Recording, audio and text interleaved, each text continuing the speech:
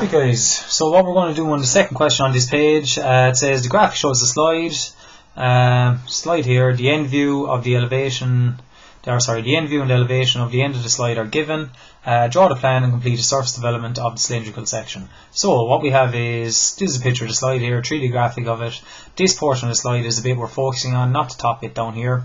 So it's essentially a cylinder that has been cut at an angle or truncated and the cylinder isn't sitting on the ground, it is lying flat on the ground on its side. So the base of the cylinder, which usually will, uh, like the last question we can see over here when it was standing up, in this case it's just been standing up and it has been put on its site. So what we have to do is, in the elevation, they've given us the elevation of it, and they've given us the end elevation of it, and what we have to do is we have to draw the plan down here. So, we look straight at it. As always, when you look straight at a cylinder, you're going to see a circular surface. And generally, when you look at a cylinder from the side, you will see a rectangle. But as we can see here in this position, it has been cut at an angle. And that shape, when it is cut at an angle, will always generate an ellipse. So what we have to do is we have to draw the plan of it. So we'll get on with that now.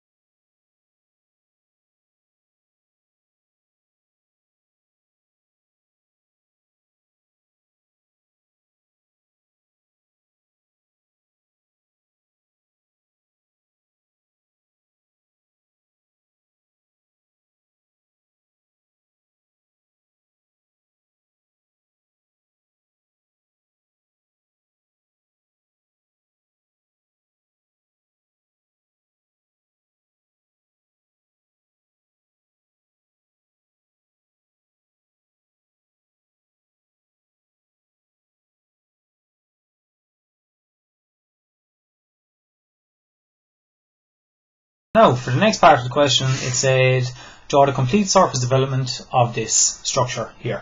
So with that, we are going to do, I'll just zoom out there, and the surface development of it is actually going to drop down here.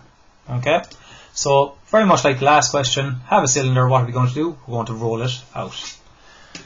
So, to be able to do that, what I'm going to do is, same as last question, start off, when a cylinder rolls out, it's going to look like a rectangle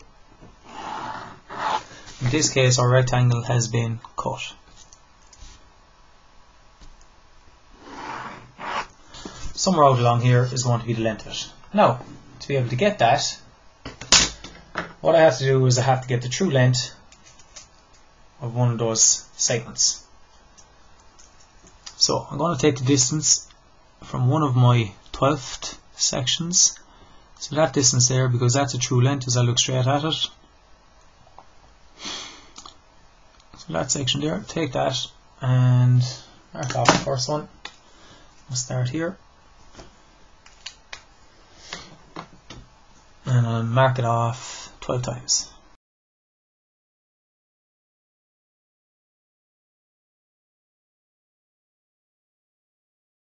Okay. Top one, bottom one. Change this over. Top and bottom ones extend over left and right that would be the whole thing if it wasn't truncated. And if we take the very very middle one so one two three four five six yes is the middle one. One two three yep that's the middle one there. Now if I take the middle one and I'm going to imagine that was point zero in this case label again. So if I had that at zero that means this section out here so here's zero. if I mark it out, then it'll go 1, 2, 3, 4, 5, 6. So 1, 2, three, four, five, six. And going the other way, it will be 11, 10, 9, 8, 7, 6. So 11, 10, 9, 8, 7, 6. And obviously this being one end at 6, this being the other, once it folds back up I know I'm right when the numbers are the same at the ends. Okay, now it's just a case of plotting my exact points.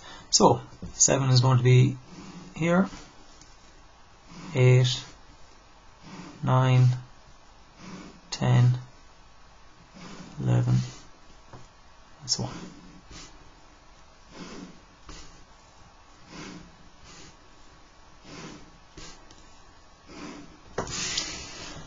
Now, already found 0, so now I've got to find 1 and 11, so just transfer them down.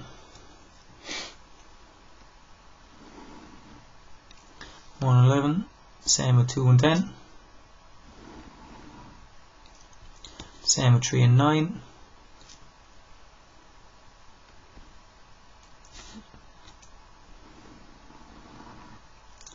same with four and eight.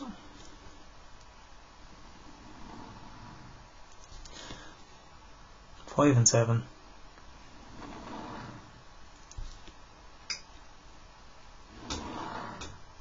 Here we go. Once again, labeling very important. One, two, three, four, five, six, six, five, four, three, two, one, eleven, ten, nine, eight seven, six, six, seven, nine, ten, eleven. Just having one little bit of a verse for doing